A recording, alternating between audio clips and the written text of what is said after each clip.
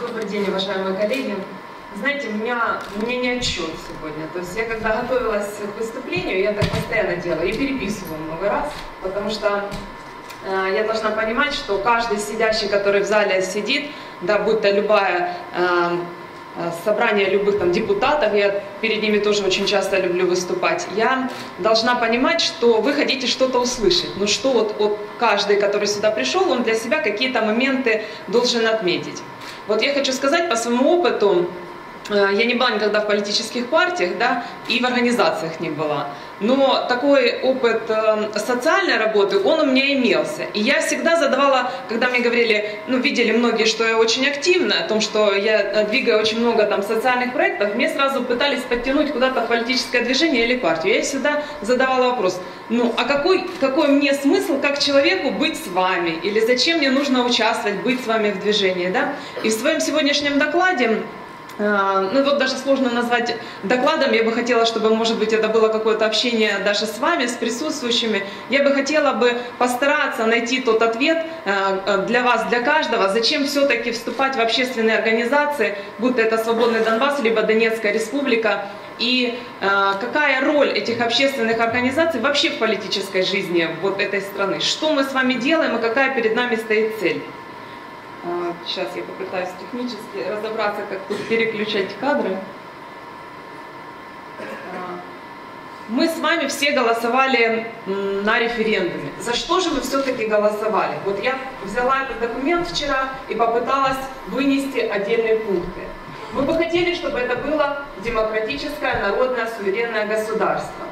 Мы бы хотели, чтобы здесь соблюдались права, права человека. Мы хотели, чтобы было здесь превосходство социальной справедливости, верховенство права и гарантия жизни, свободы и достоинства других прав и свобод. Это то, за что мы с вами голосовали на референдуме. Если можно, следующий. Вот тут вот такие цели, которые бы э, мы бы видели, может быть, э, для реализации свободного Донбасса. Это не полный их перечень. Э, здесь нет э, какой-то градации этих целей. Я считаю, что мы должны с вами работать над этим списком. Мы должны понимать все-таки, какие цели мы перед собой ставим. И когда мы что-то делаем потом, будь это какое-то мероприятие, или съезд, или любые наши социальные проекты, мы тогда говорим о целесообразности. Насколько то, что мы делаем, приближает нас к тем целям, которые мы с вами заявили. Вот эти цели, я думаю, что мы э, дополнительно сделаем какой-то раздел на сайте, да, и мне бы хотелось, чтобы а, во всех ячейках любого уровня а, шло обсуждение этих целей постоянно, то есть мы их можем корректировать, каждый из вас может говорить о том, что а давайте мы сейчас возьмем вот такую нишу или такой проект, и мы его подтянем, и, и например, у вас есть какая-то идея, как его реализовать, и вы предлагаете механизм, как его реализовать. Этот, этот кадр взят из другой презентации, это то, с чем я выступала на Народном совете. Это было две недели назад. В чем этот кадр? Я хотела найти какие-то документы, в которых была бы отражена наша стратегия нашего государства. Я бы хотела посмотреть какие-то программы экономического развития и так далее. То есть здесь структурно вы можете просмотреть по уровням. Это стратегия экономического и социального развития Донецкой Народной Республики. Мы все-таки должны понимать, куда мы движемся и что, какие критерии мы выставляем для себя прежде всего. Это программа экономического и социального развития Донецкой Народной Республики на краткосрочный период. Естественно, мы все понимаем, что сейчас очень тяжелый период. Период послевоенный, период становления нашей республики. Но какие-то вот уже засечки, да, и какие-то, после того, как мы цели поставили, какие-то критерии оценки эффективности государственного управления мы уже должны выдвигать. Сейчас будет отчет министров. Если вы знаете, через многие информационные источники и так далее, мы говорили о том, что мы собираем вопросы, которые граждане хотят задать сейчас нашей исполнительной власти, депутатам, э, там, главе республики. Те вопросы, которые мы хотим задать. Естественно, мы их вынесем на парламентские слушания, на Народный совет, и мы их зададим. Сейчас формируется пул таких вопросов. Также Отдельно я вынесла э, разработка проектов отраслевых или региональных программ. Вот здесь нужно вообще полнейшее ваше участие. Почему это важно? Если говорить о какой-то территории, например, наши депутаты работают э, в комитете по сельскому хозяйству. Мы ездим по тем районам, где в приоритете сельское хозяйство. Вот э, мы двигали несколько законов по сельскому хозяйству, да, и вот какого-то комплексного видения в Донецкой Народной Республике пока еще нет, то есть есть наметки. И вот здесь нужно ваше максимальное содействие для того, чтобы эти такие программы появились. Это здесь и продуктовая безопасность, что очень важно для нас. А, и мы, мы прекрасно знаем, что, например, овощеводством здесь практически никто никогда не занимался, ну, в каких-то промышленных масштабах. Мы понимаем, что вот уже мы ощутили на себе эту блокаду со стороны Украины, и у нас там многие продукты стали очень дорогие, имеется в виду там помидоры, огурцы, да, но на нашей территории мы можем это выращивать. Также здесь речь идет и о региональных программах, потому что вам на месте, вам э, виднее всего, что именно нужно поменять, что именно, именно в вашем округе лучше всего сделать, какую программу развития вашего города или вашего района лучше предложить. И я вам хочу сказать, что многие администрации, они как раз идут на то, чтобы взаимодействовать с такими людьми, которые предлагают какие-то идеи. Не просто ходят и говорят, а вот тут плохо, а вот тут вы не восстановили. Давайте ваши идеи, мы готовы их на любом уровне поддерживать и, и помогать вам их реализовывать. Если говорить о сложных районах, те, которые были а, по этой Горловка, понятно, Дебальцево, Углегорск, можно назвать еще районы, да, там есть программы по восстановлению теперь этих регионов, после военных действий. Понятное дело, что э, несмотря на то, что у нас э, вроде бы как э, по Минску мир, да, но мы знаем прекрасно, что идут очень большие серьезные обстрелы. И ваше участие здесь очень важно тоже. Нужно понимать о том, что понятно, что есть государственные программы по восстановлению социальных проектов, но нужно нужно собираться вместе, да, возможно, какие-то еще дополнительные проекты объединяться. То есть где-то государство может помочь э, там, строительными материалами, да, но это вы понимаете, что это ваша школа, она для ваших детей. Объединились, пошли, какой-то участок сделали. Э, да, перейдем э, все-таки к тому, что уже ранее мои коллеги говорили, это все-таки, чтобы не было такого отрыва, что вот депутаты, мы не знаем, что они делают, мы нет понимания того, как э, ими управлять, по большому счету мы бы хотели выстроить такую структуру. Граждане, ну по большому счету это э, те активные люди, которые живут в, нашей, в нашем государстве. Граждане приходят в общественное движение. По большому счету вы уже пришли, вы уже этот первый шаг сделали. Общественное движение, э, оно делегирует. То есть вот депутаты Народного совета, это если посмотреть наши от закон о статусе народного депутата, то общественное движение может отозвать этого депутата. Есть такая процедура. А также мы, э, то есть у нас пока что этой ступени не было, но нужно понимать, что она очень скоро будет, когда из всех вас, вот сидящих в этом зале, нам нужно будет выдвигать кандидатов на глав администрации. Э, а эти выборы они скоро, да?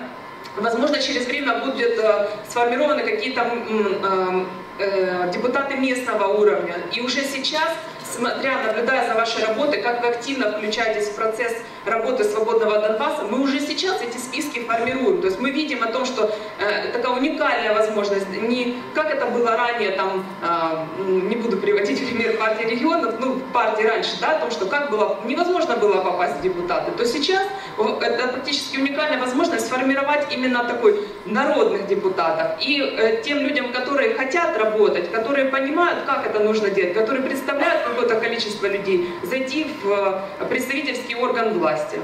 Соответственно, после того, как вы нам делегировали то, что сейчас работает, общественное движение делегировало нам полномочия, и мы стали народными депутатами, что мы можем делать? Мы можем отстаивать проблемы, которые озвучиваются, или те политические программы, или те цели, которые, вот, которые ранее были по кадрам, мы можем отстаивать. Мы взаимодействуем и с исполнительными органами власти, и с, судеб, с судебной ветвью, она так у нас еще не очень сформирована, но в этом направлении тоже идет серьезная работа опять же, все выносить, э, те проекты, о которых я вас говорила, э, ранее говорила вам, на законодательный уровень, отображать их в законах, отображать их в каких-то программах. Ну, если говорить об общественном движении, то все-таки общественное движение обеспечивает взаимосвязь государства с гражданским обществом. Функция это представительство властных структурах э, и представительство именно социальных интересов. Это выявление и согласование групповых интересов граждан, придание им политических требований и целей. Общественное движение выполняет электоральную функцию, функция политической мобилизации, отбор и воспитание политических лидеров. Вот в следующем кадре я бы хотела бы чуть-чуть на двух остановиться.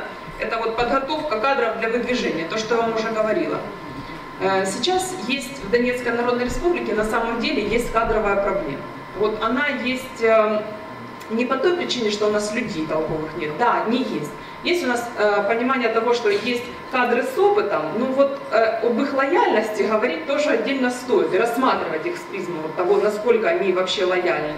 Есть молодые кадры. Молодым кадрам им не хватает опыта. И мы все время, э, прежде чем принять какое-то решение, ну, например, э, такой вопрос стоял в повестке, когда мы э, говорили о назначении судей. Наши депутаты входили в квалификационную комиссию, которая рекомендовала главе судей. И этот вопрос тоже обсуждался. Какие критерии мы выставляем с вами? То есть это будет опытный судья, у него будет там 20 лет опыта стажа, да, но мы, он работал тогда, и мы не были довольны его работой. Или сейчас мы говорим о новых, да, придут новые молодежь, да, которая иначе мыслит, которая за справедливость, которая не будет брать взятки. Но не будет этому судье хватать опыта. Там иногда ну, сложные вопросы он рассматривает. И вот здесь нужно такую искать э, как бы золотую середину. И для нас очень важно, что через наше общественное движение, когда люди проходят, мы все-таки смотрим, а какой ваш уровень, да, э, вы уже пришли, это значит уже, что вы лояльны к Донецкой Народной Республике, вы понимаете о том, что это молодое государство, и нужно работать над его строительством вместе. Мы смотрим вашу квалификацию, и постепенно через э, общественное движение, мы формируем такой кадровый потенциал для Донецкой Народной Республики. И потом люди, которые поработали какой-то период времени, мы понимаем о том, что ну, вот они соответствуют этим критериям, мы стараемся, естественно, продвинуть дальше на какие-то должности И второй момент, я вот также о нем говорила, это все-таки площадка для выработки программ социально-экономического развития. А, вот у нас есть опыт Евгения Орлов, который сидит э, в президиуме, да, вот он уже собирал таких несколько э, сообществ, когда до того, как выносить какой-то законопроект, а он требует какого-то экспертного анализа, э, экспертного сообщества. И именно оценки тех людей, которые же будут пользоваться этим законом. Понятное дело, что у нас есть Э, украинской э, законодательной базы, но мы же сталкивались с ним, мы же знаем, что там недоработано. Понятно, у нас есть дело, есть вектор гармонизации э, нашего законодательства с законодательством Российской Федерации, потому что ну, это основной из векторов, куда мы стремимся с вами. А для себя мы хотели бы взять лучшее. Лучшее и то, чтобы не только было теоретически, но и работало. Поэтому задача наша с вами – это сбор вот таких вот сообществ, Э, все-таки людей, которые будут потом с этим законом работать. Какие-то, это могут быть там рабочие а, заседания, да, это может быть более расширенные конференции на обсуждение этого законопроекта. И мы бы хотели все-таки выстроить э, такую работу, чтобы до того, как мы голосовали этот закон, мы его могли обсудить с вами, вы могли внести туда максимально много изменений, которые вы посчитали нужными. Я опять же, заканчивается год, и у нас выступает э, исполнительная власть, министры с отчетами. Также э, есть такие отчеты и глав администрации на местах. А вот а как их оценивать? То есть вот как подойти, вот хорошо он работал или плохо? И э, этим, этим вопросом мы тоже задавались. То есть есть, э, мы рассматривали опыт Российской Федерации, там есть порядка 40 критериев на то, чтобы оценить, как работает муниципалитет они достаточно сложные, они в определенном периоде. Мы, мы там как бы пересмотрим, возможно, будет что-то введено. Но вот я отдельный такой критерий, я его все-таки выделила, и именно тот критерий, э, это удовлетворенность населения как критерий эффективности органов местного самоуправления. Это то, что вы думаете о работе вашего главы. Это очень важный момент. Давайте на примере. У главы есть определенный бюджет, он ограничен и у вас есть разрушенная, разрушенная школа и разрушенная больница, ну, скажем, поврежденная. И глава вам честно, и, то есть, и всегда будут, если глава примет сам это решение, всегда будут люди, которые скажут, почему ты больницу не восстановил? Или другие скажут, а вообще ты школу не восстановил? А если этот вопрос будет вынесен на обсуждение, и тогда граждане смогут сказать о том, что, ребят, все понятно, но у нас эта школа одна, а если мы ее не восстановим, то дети в другую будут там за 40 километров ездить. Или вы сейчас скажете о том, что у нас эта больница, она первостепенная, здесь мы э, с передовой нам подвозят ребят, и мы их тут лечим, поэтому восстановление этой больницы это самое важное. И я бы, э, наверное, бы хотела все-таки, чтобы вот общественная организация, наша «Свободный Донбасс», являлась а, таким инструментом для вас, для того, чтобы ваше мнение и ваши проекты доносить и помогать вам их ре- реализовывать. А, И в завершение, как бы кадр я этот не сделала, но как-то э, читала одну книгу, вот вынесла для себя эту фразу, и когда готовилась к этому выступлению, я для себя, мне, мне бы хотелось вам ее озвучить. Это такая э, фраза из небольшой притчи, когда однажды ученик спросил у старца, долго ли ждать э, перемен к лучшему. А этот вопрос задают многие. Тогда старец ответил, если ждать, то долго. Нужно действовать.